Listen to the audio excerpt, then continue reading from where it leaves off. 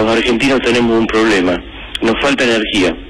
No tenemos electricidad ni gas suficiente como para calentar nuestros hogares y alimentar nuestras industrias. El frío se anticipó, en lugar de llegar en julio, llegó en abril, tuvimos más frío, entonces a lo que fue el incremento de la demanda debido a la temperatura se agregó una comparación contra un año donde el consumo había sido muy bajo debido a que el año pasado había sido muy cálido. O sea, eso es lo que disparó eh, el incremento de las facturas de este año. El tarifazo eh, es una barbaridad si se tiene en cuenta el estado de la mayoría de los argentinos que necesitan gas.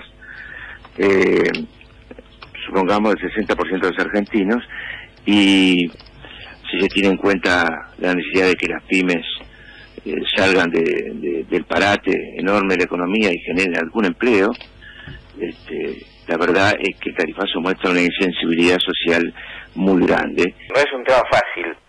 Lo que está pasando ahora es básicamente que la Argentina no tiene el gas que necesita para funcionar.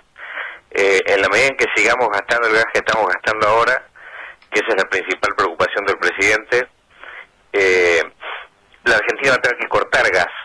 No puede ni siquiera importar más porque Bolivia no tiene capacidad de vendernos más de lo que nos vende. En el día de ayer, para evitar confusiones, para responder a los reclamos eh, de la ciudadanía, en lugar de estar aplicando el tope del 400% sobre la tarifa, es decir, el cuadro tarifario, decidimos hacerlo sobre lo efectivamente facturado y pagado por cada persona el año pasado.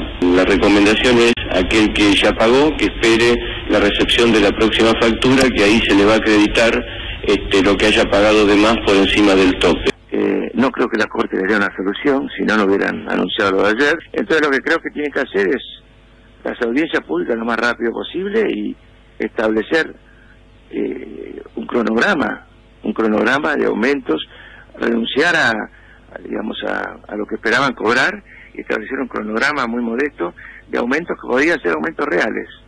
Supongamos uno o dos puntos por encima de la inflación. Bueno. El tarifazo es algo extremadamente doloroso. Yo creo que es lo más doloroso que tiene que hacer el gobierno, sin ninguna duda.